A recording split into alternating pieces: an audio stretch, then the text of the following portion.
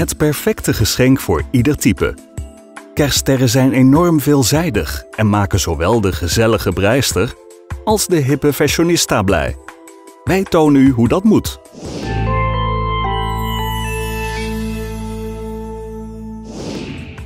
Met een bolletje wol worden kerststerren een fantastisch geschenkidee voor liefhebbers van handwerk.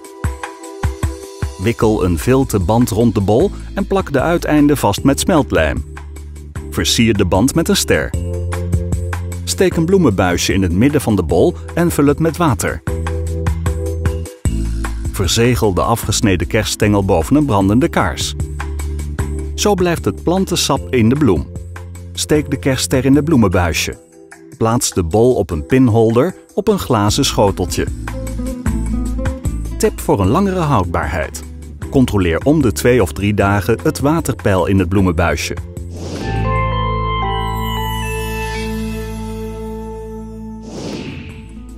Voor de mondaine types, kerststerren in bont. Plak een strip dubbelzijdige plakband op een vaas. Knip een lap kunstbont op maat. De breedte komt overeen met de omtrek van de vaas en de hoogte knipt u 3 cm langer dan de hoogte van de vaas. Wikkel de lap bont met de rand tegen de bodem rond de vaas en plak hem vast op het plakband. Plooi de uitstekende rand aan de bovenkant naar binnen. Bind één of twee satijnen linten goed vast rond de bonte vaas en bevestig de uiteinden aan elkaar met een nietmachine.